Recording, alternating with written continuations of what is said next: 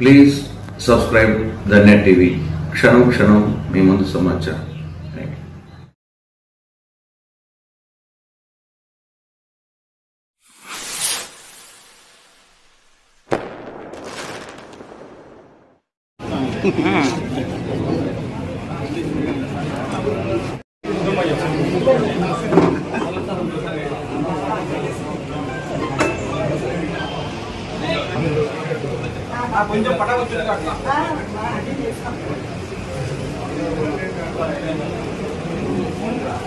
Thank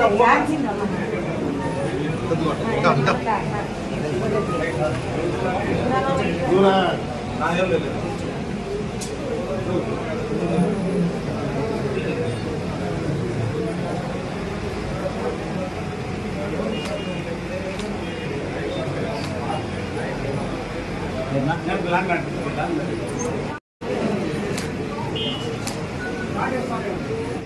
ఎనభైవ జయంతి సందర్భంగా ఇక్కడున్న ఆయన కుటుంబ సభ్యులకు డాక్టర్ ఎంబీఆర్ గారి అభిమానులకు మనస్ఫూర్తిగా ఆయన జన్మదిన శుభాకాంక్షలు మీ అందరికీ తెలియజేస్తా ఉన్నా డాక్టర్ ఎంబీఆర్ గారి జన్మదిన శుభాకాంక్షలు. ముఖ్యంగా డాక్టర్ ఎంబీఆర్ గారు నా నాకు ఎంబీఆర్ గారితో దాదాపు పన్నెండేళ్ళ అనుబంధం ఉంది. నేను ఇంకా ఫస్ట్ టైం ఎంపీ కూడా కాకముందే ఎంబీఆర్ గారి దగ్గరికి అనేక సార్లు వచ్చా. వచ్చిన ప్రతిసారి కూడా ఆయన దగ్గర నేను చాలా నేర్చుకున్నా.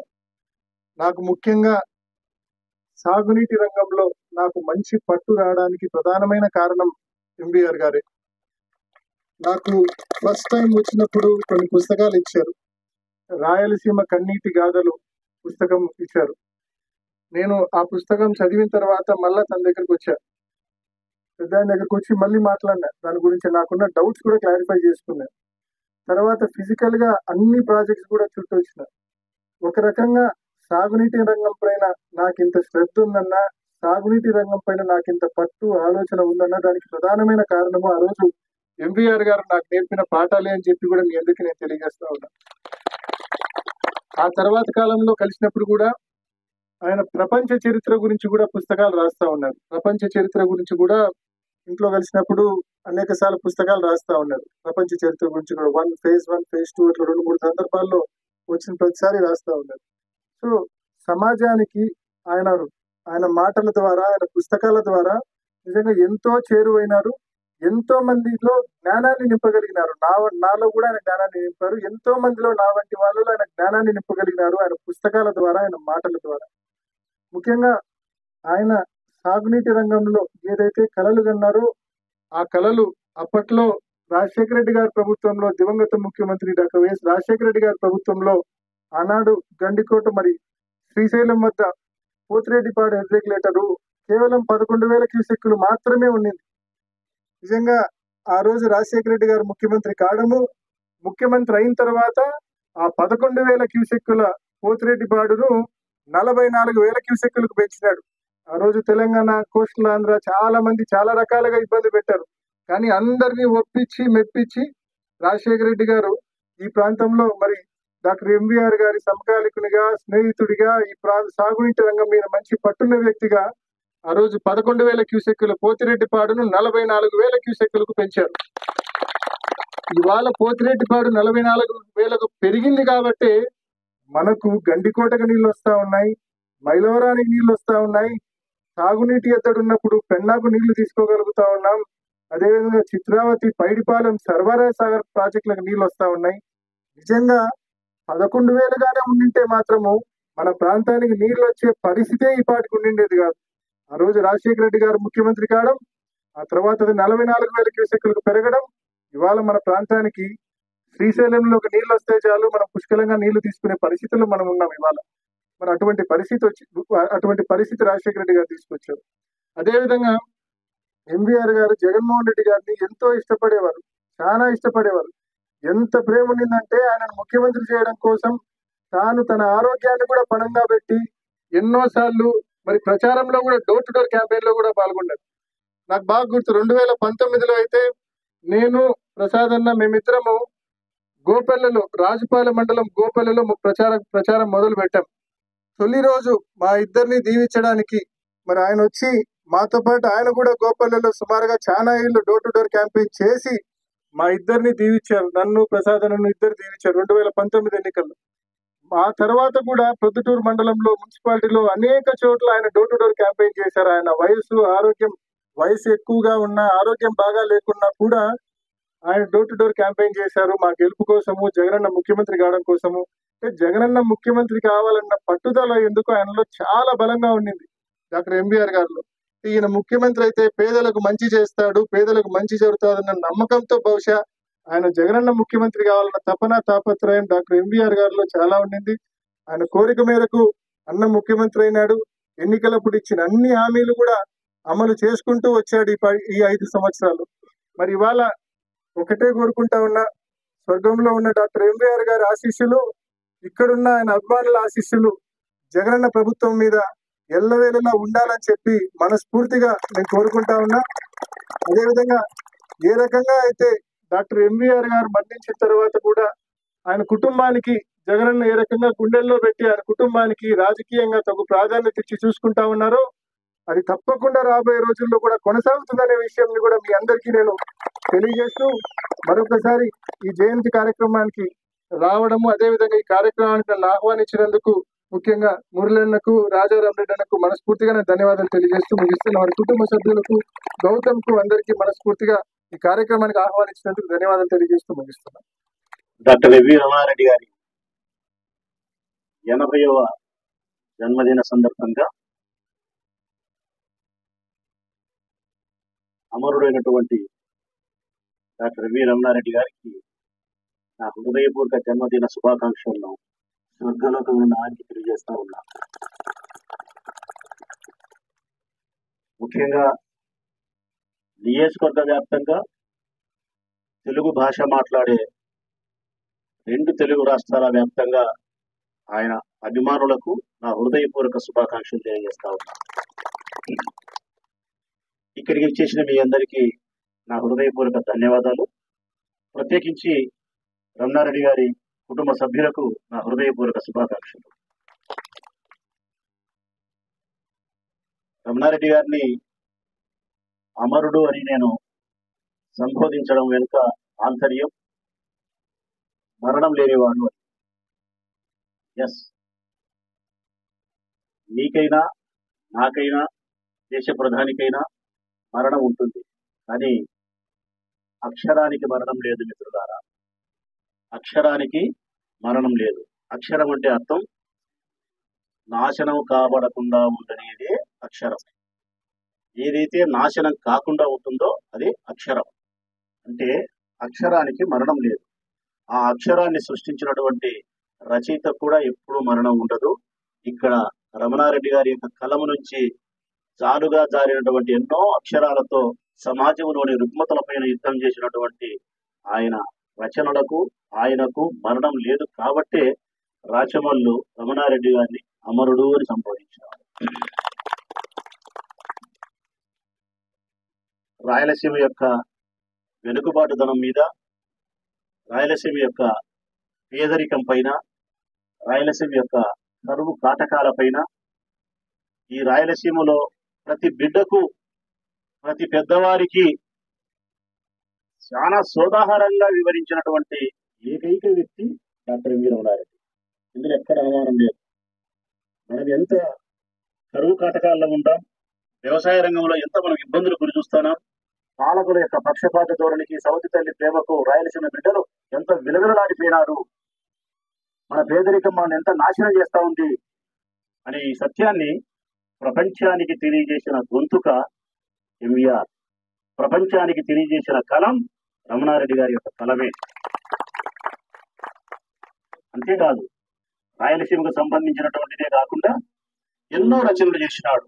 సామాజిక స్పృహను కలిగించే విధంగా ఎన్నో తమాషగా ఉండే కథలను కూడా రాయగలిగినాడు ఆయన. మనుషులకు ఎంతో వినోదాన్ని కలిగించే రచనలు చేయగలిగినాడు. సామాజిక స్పృహను కలిగించే రచనలు చేయగలిగినాడు. సమాజంలో ఉండే చెడు రుగ్మతలపైన యుద్ధం చేయడానికి సంసిద్ధమైనటువంటి కళాన్ని ఎప్పటికప్పుడు కొరడారాగా రులిపిస్తూనే వచ్చినాడు డాక్టర్ ఎంవి రమణారెడ్డి దురదృష్టవశాత్తు నా వ్యక్తిగత అభిప్రాయం ఇది. దురదృష్టవశాత్తు ఈ సమాజానికి ఒక నష్టం జరిగింది. నా వ్యక్తిగత అభిప్రాయం మిత్రులరా. సమాజానికి ఒక నష్టం జరిగింది. ఆయనే కన్నా రాజకీయ రంగ ప్రవేశం చేయకుండా ఉండి ఉండింటే రమణారెడ్డి గారు లాంటి యొక్క ఆలోచనలు వారి కలం నుంచి జాలువారే ఎన్నో అక్షరాలు సామాజిక స్పృహను మనలో కలిగించి చైతన్య పరిచి ఉండి సమాజానికి హితుడై చాలా సమాజానికి మేలు చేసిన వ్యక్తిగా మిగిలిపోయి ఉండేమనేది నా అభిప్రాయం. రాజకీయ రంగ ప్రవేశం చేయడం ద్వారా ఇంకా ఆయన రచనల ద్వారా సమాజానికి జరగాల్సినంత గొప్ప మేలు జరగకుండా పోయిందేమో. ఆయన ఉండబడిన అపూర్వమైనటువంటి అపారమైనటువంటి జ్ఞాన సంపదను మనం ఇంకా తీసుకోలేకపోయినామేమో అని చెప్పి నాకు అనిపిస్తూ ఉంటుంది ఎప్పుడన్నా. అదే సందర్భంలోనే నేను ఆయన సమకాలికుని కాలేకపోవడం ఆయనతో కలిసి రాజకీయ ప్రవేశం నడవలేకపోవడం వలన ఇంకా ఆయన జ్ఞానానికి దగ్గరగా నేను ప్రయాణించలేకపోయినా. చివరి దశలో ఆయనకు దగ్గరగా నేను ఉండగలిగిన చివరి దశలో ఆయన దగ్గరగా పది సంవత్సరాల ముందున చూడినప్పుడు ఆయన ఆలోచన విధానాన్ని గాని ఆ సరళని గాని ఆయన రచనలు గాని ఆయన కవితా సంపుటికను గాని ప్రస్ఫుటంగా కొద్దో గొప్ప నేను గమనించగలిగిన కారణం నేను కూడా రచయితల యొక్క కులం నుంచి వచ్చిన వాడిని కాబట్టి కవుల యొక్క కుటుంబం నుంచి వచ్చిన వాడిని కాబట్టి కొద్దో గొప్ప ఆయన నేను గమనించడానికి నాకు ఆస్కారం ఏర్పడింది. అంతేకాకుండా రాజకీయ పరంగా కూడా నేను కృతజ్ఞతాబద్ధని రమణారెడ్డి గారికి ఆయన మరణించి అమరుడై స్వర్గలోకంలో ఉన్నప్పటికీ కూడా రాచమల్లు ఆనాడు ఇదే మాట చెప్తా ఉన్నాడు ఈనాడు ఇదే మాట చెప్తా ఉన్నాడు. ఎన్నికలు వచ్చినా ఆయన ఒకలాగా ఎన్నికలు లేనప్పుడు ఒకలాగా మాట్లాడే స్వభావం రాచమల్లిది కాదు. కుండ బద్దలు కొట్టేట్టు మాట్లాడే మనస్తత్వం. రాచమల్లు నర నరములోనూ తప్పనిసరిగా ఉండే ఒక లక్షణం సులక్షణం అది. కృతజ్ఞతాబద్ధుడే ఉండడమే రాచమల్లికి ఇష్టం. నాలో ఎక్కువ కృతజ్ఞతా భావం ఉంటుంది. నేను ఎదుటి వారి నుంచి కోరుకునేది కూడా కృతజ్ఞతా భావాన్ని రమణారెడ్డి గారు రెండు దఫాలుగా రెండు వేల పద్నాలుగు కానీ రెండు వేల పంతొమ్మిది కానీ ఆయనకు వయసు బింద పడిన సందర్భంలో ఆరోగ్యం క్షీణిస్తున్న సందర్భంలో కూడా పార్టీకి బద్ధుడై విధేయుడై నాకు మనస్ఫూర్తిగా నా ఎన్నికకు సహకరించినటువంటి వ్యక్తి రంగనారెడ్డి గారు. రెండు వేల పద్నాలుగులో సహకరించినారు రెండు వేల పంతొమ్మిదిలో సహకరించినారు. రెండు వేల పంతొమ్మిదిలో అయితే ఇంకా ఆయన ఆరోగ్యం క్షీణించిన పరిస్థితుల్లో అట్టి పరిస్థితుల్లో కూడా ఆయన వయస్సును మరసి ఆయన అనారోగ్యాన్ని కూడా పక్కన పెట్టి లేని ఉత్సాహాన్ని తెచ్చుకొని పంతొమ్మిదిలో మరింత పట్టుదలగా నన్ను గెలిపించడానికి నన్ను యాభై వేల ఓటుతో గెలిపిస్తానని చెప్పి ఒక మాట ఇచ్చిన నేరానికి అత్యంత కఠినంగా పట్టుదలగా పంతొమ్మిదిలో నన్ను గెలిపించే ప్రయత్నం చేశాను ఆనాడు అది అభిప్రాయం రాజ్యములకు ఈనాడు అది అభిప్రాయం. నా గెలుపు పట్ల నా అభివృద్ధి పట్ల అంత పెద్ద మనిషి నా కోసం చేసిన తర్వాత ఆ కుటుంబం పట్ల నేను ఎప్పుడు కూడా సదా కృతజ్ఞతాబద్ధునే ఉంటా. నా వైపు నుంచి పార్టీ వైపు నుంచి ఈ కుటుంబానికి రాజకీయంగా జరగాల్సిన ఏ అభివృద్ధిలో కూడా ఈనాడు జాన్సమ్మకు తన గొప్ప పదవి ఇచ్చింది ఇంతటితోనే కాదు భవిష్యత్ కాలంలో కూడా ఇంతకంటే ఉన్నతమైన పదవులు జగన్మోహన్ రెడ్డి గారు వారికి ఇచ్చే ప్రయత్నం చేసినప్పుడు తొలి ఓటు రాచముల్లో వేస్తాడు ఈ కుటుంబానికి మధ్య. మా రెండు కుటుంబాల మధ్య సరైనటువంటి సదవుగా అభిప్రాయము సఖ్యత సదభిప్రాయం రాజకీయ ఒడంబడిక అన్ని కూడా చాలా సక్రమంగా ఉన్నాయని చెప్పగలుగుతా. మా మధ్య ఎక్కడే కానీ చిన్నపాటి ఇబ్బంది కూడా లేకుండా చాలా సరళమైనటువంటి భాషతో సరళమైనటువంటి భావనతో ముందుకు సాగిపోతా ఉంది మా రాజకీయ సంబంధం రెండు కుటుంబాల మధ్య. భవిష్యత్ కాలంలో కూడా ఎంవీఆర్ కుటుంబానికి మరింత రాజకీయ ఎదుగుదల ఉంటుందని మరింత అభివృద్ధిని జగన్మోహన్ రెడ్డి గారు ఇస్తారని చెప్పి ఆశిస్తూ నేడు జరగబోయే ఎన్నికలలో మీరందరూ కూడా రమణారెడ్డి గారి అభిమానులందరూ కూడా జగన్మోహన్ రెడ్డి గారి ప్రభుత్వాన్ని నిలపడానికి జగన్మోహన్ రెడ్డి గారి ఆశయాన్ని నెరవేర్చడానికి కంకణబద్దులై రమణారెడ్డి గారి యొక్క ఆశీస్సులను స్వర్గంలో గురించి అందుకుంటూ మరింత ఉత్సాహంతో జగనన్న స్థాపించిన జెండాను గెలిపించడానికి ప్రథమ సింగారై మీరు ముందుకు సాగుతారని ఆశిస్తూ మరొకసారి ఎంవీఆర్ కుటుంబ సభ్యులకు నా హృదయపూర్వక శుభాకాంక్షలు. ఇరవై జన్మదినాన్ని జరుపుకుంటున్న రమణారెడ్డి గారికి సదా నా హృదయం నిండా మనస్ఫూర్తిగా వారికి శుభాకాంక్షలు తెలియజేస్తూ సెలవు. వెంటనే విచ్చేసిన మా గౌరవ ఎంపీ గారు అవినాష్ అన్న గారికి గౌరవ ఎమ్మెల్యే గారికి ఇక్కడ విచ్చేసిన పెద్దలందరికీ కూడా నేను ధన్యవాదాలు తెలియజేసుకుంటున్నాను. మనకందరికీ తెలుసు. మరి జగనన్న గారు ఎంతో కష్టపడి మన పార్టీని స్థాపించిన నాటి నుంచి కూడా డాక్టర్ ఎంవీఆర్ గారితో నచ్చిన మీ అందరికీ కూడా మేము ధన్యవాదాలు తెలియజేసుకుంటున్నాము. మరి జగనన్న గారు ఒక ఆదర్శమైన ప్రజానాయకుడిగా మనందరికీ దారి చూపిస్తూ ముందుకెళ్ళి తీసుకెళ్తున్నారు మనందరినీ. ఇప్పుడు మరి దాదాపు మనం పార్టీకి అండగా ఉండాల్సిన సమయం. మనం జిల్లాలలో కూడా అందరికీ ఒక ఆదర్శ నాయకులులాగా కూడా ఎంపీ గారు ప్రతి సమయంలో కూడా ప్రజలందరికీ అందుబాటులో ఉంటూ అందరికీ సేవ చేస్తూ ఒక క్రమశిక్షణ తో అందరినీ నడిపిస్తున్నందుకు చాలా చాలా ధన్యవాదాలు. ఇలాగే మీ నాయకత్వంలో మేము అందరం నడవాలని అనుకుంటున్నామన్నా అలాగే మన ప్రొద్దుటూరు ఎమ్మెల్యే గారు కూడా ప్రజలందరికీ ఎప్పుడు అందుబాటులో ఉంటూ మరి ప్రొద్దుటూరుని కూడా అభివృద్ధి బాటలో నడిపించారు. సో మాకు పార్టీ చూపించిన బాటలో మేము ముందు నుంచి మామయ్య గారు ఎలాగో పార్టీ ఏం చెప్తే అది చేస్తూ వస్తున్నాము. సో ఇలాగే నడవాలని అనుకుంటున్నాము. అలాగే మాకు ఆర్టీపీపీ కూడా అడిగిన వెంటనే ఎంపీ గారు కానీ ఇప్పుడు మిగతా శాసనసభ్యులందరూ కూడా కడప జిల్లాలో ఒక లెటర్ ఇవ్వడం జరిగింది. అందరూ అంగీకారం తెలిపినట్లు సో అందరికీ కూడా మేము ధన్యవాదాలు తెలుపుకుంటున్నాము. ఇందాక చెప్పినట్లు గౌతమ్ ఎప్పుడూ కూడా మా అభిమానులకు ఏ సమస్య వచ్చినా కూడా అందుబాటులో ఉంటామని కుటుంబం తరపున అందరము తెలియజేసుకుంటున్నాము. నాకు ఈ అవకాశం కల్పించినందుకు ధన్యవాదాలు. డాక్టర్ ఎంబీఆర్ పంతొమ్మిది వందల డెబ్బై నాలుగులో కాటన్ మిల్ యూనియన్ ప్రెసిడెంట్గా ఎన్నికయ్యారు. అయితే అంటే ఈ సంవత్సరంతో ఆయన ప్రజా జీవితం మొదలుపెట్టి యాభై సంవత్సరాలు ఖచ్చితంగా యాభై సంవత్సరాలు పూర్తవుతాయి. ఈ యాభై సంవత్సరాల్లో మేము గెలుపు చూసాము ఓటములు చూసాము ఎన్నో కష్టాలు ఎదుర్కొన్నాం. కానీ ఏనాడే గాని ఎంబీఆర్ గాని ఎంబీఆర్ కుటుంబం గాని ప్రజలకు ఉపయోగపడాలి అనే ఆశయాన్ని ఎప్పుడూ వదులుకోలేదు. ఈ ప్రక్రియలో మాతో పాటి చెక్కు చెదరకుండా మీరందరూ నిలిచినందుకు నా హృదయపూర్వక కృతజ్ఞతలు చెప్పుకుంటున్నాను. ఇదే సందర్భంలో మీ అందరికీ ఒక్క మాట గుర్తు చేస్తున్నాను.